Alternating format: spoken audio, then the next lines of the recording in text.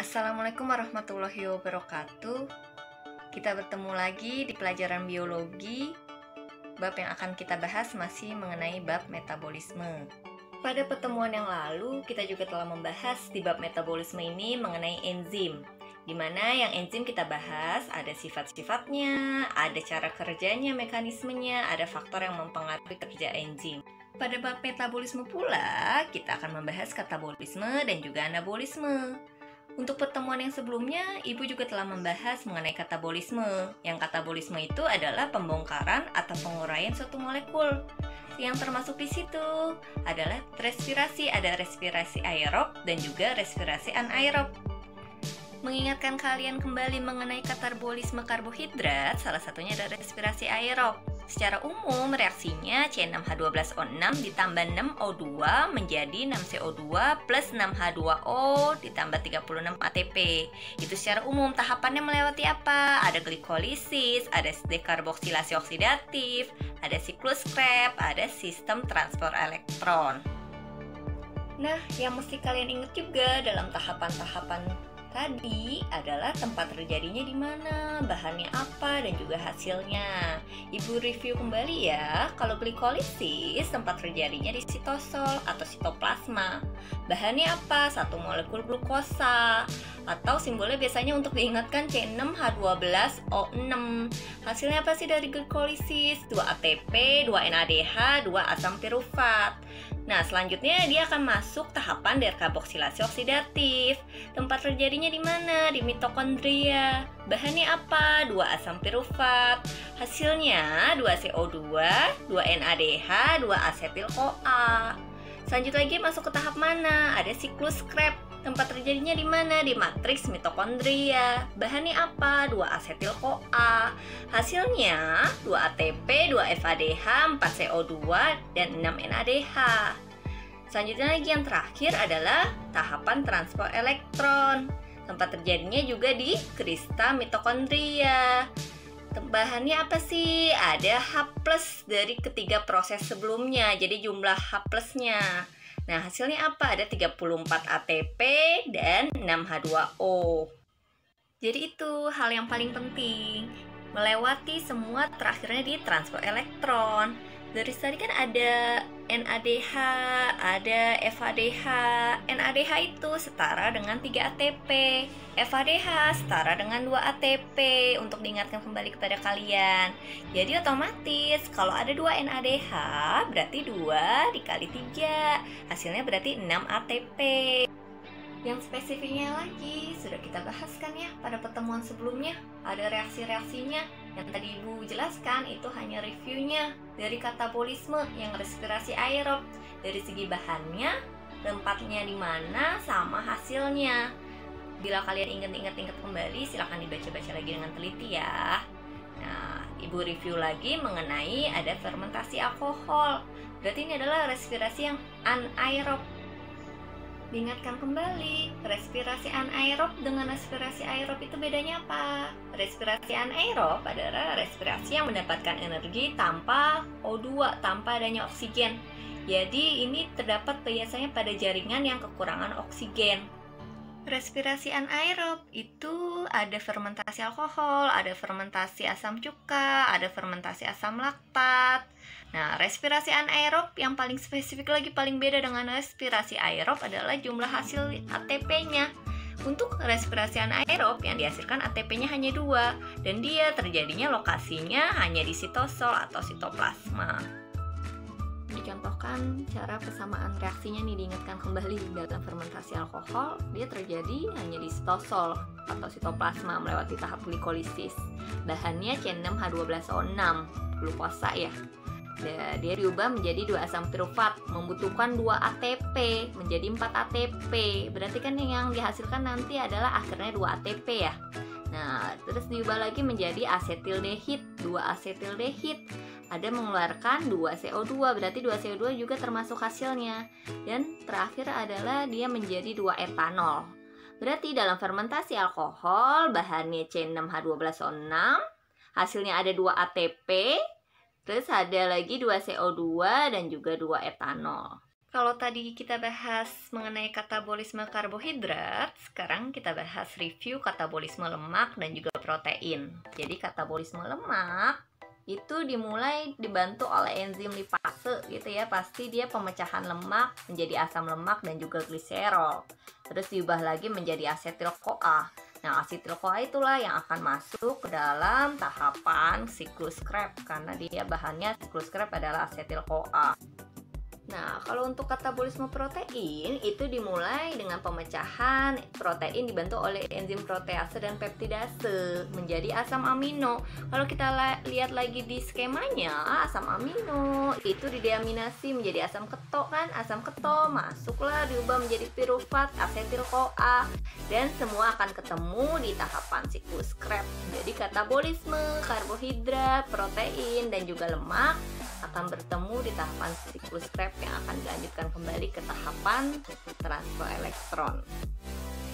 Nah, itu tadi hasil dari review yang lumayan panjang juga ya dari pertemuan-pertemuan sebelumnya mengenai bab metabolisme.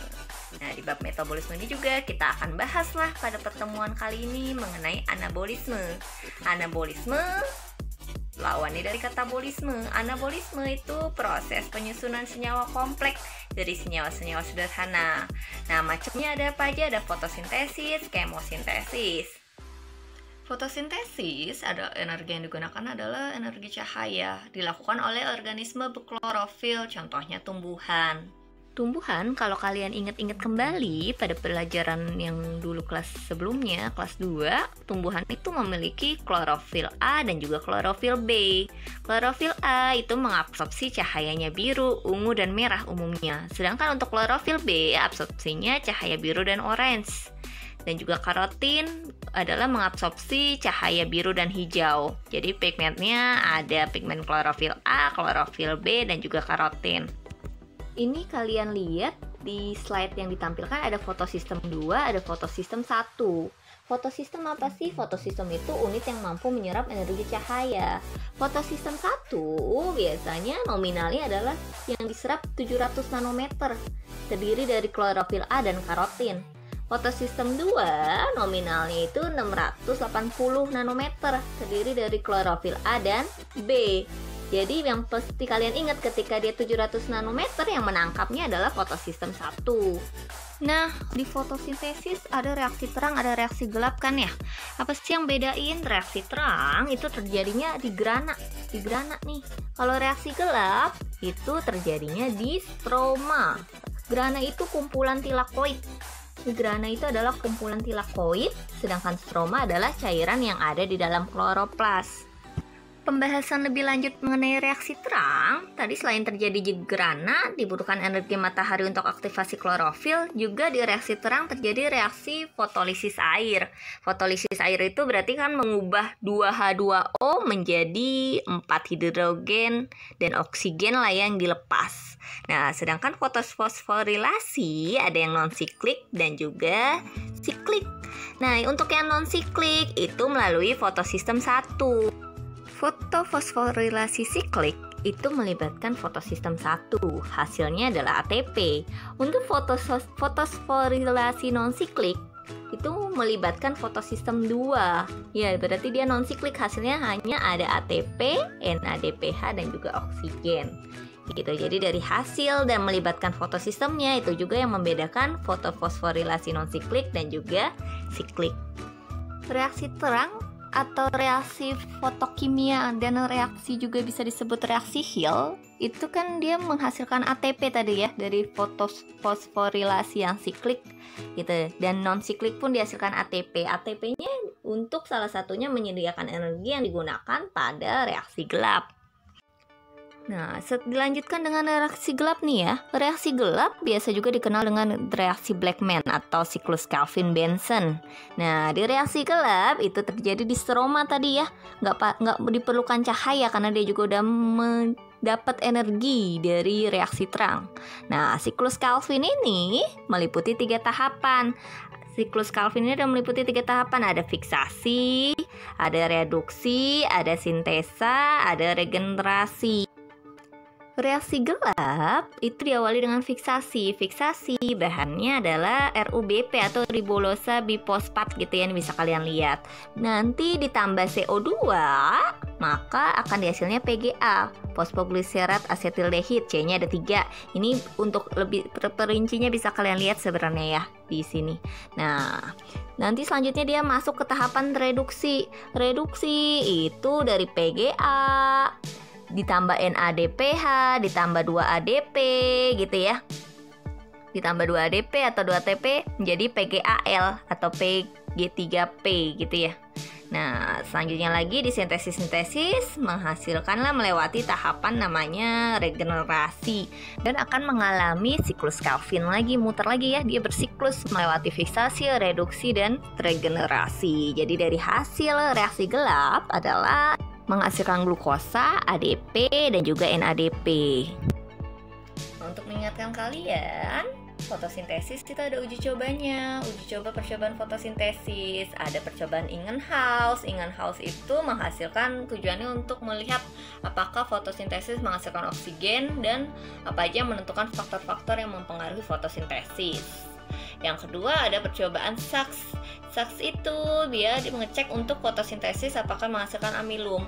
Nanti ada juga percobaan Angelman. Angelman itu membuktikan bahwa fotosintesis menghasilkan oksigen dan memerlukan klorofil. Itu biasanya uji coba-uji coba dalam percobaan fotosintesis.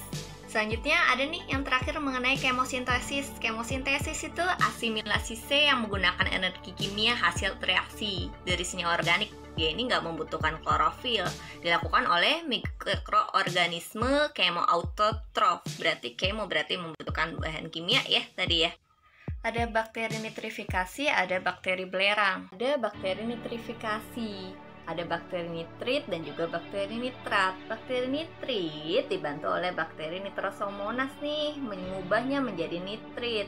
Nah, si nitrit ini HNO2 dibantu oleh nitrobakter menjadi HNO3 atau nitrat. Jadi bakteri nitrat nih oksidasinya adalah oksidasi nitrit.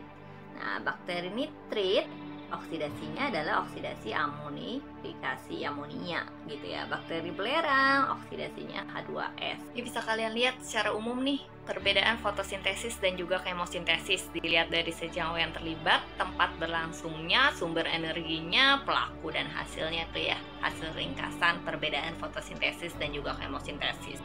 Yang tadi kita bahas itu adalah sintesis atau anabolismenya karbohidrat. Nah, yang ini nih sintesis lemak dan juga sintesis protein. Ya otomatis kalau lemak itu dengan bantuan lipase ya. Sedangkan untuk protein, sintesisnya yang melibatkan DNA, RNA, dan juga ribosom gitu ya. Protein ini tidak disintesis langsung oleh gen, melainkan melalui proses transkripsi dan juga translasi.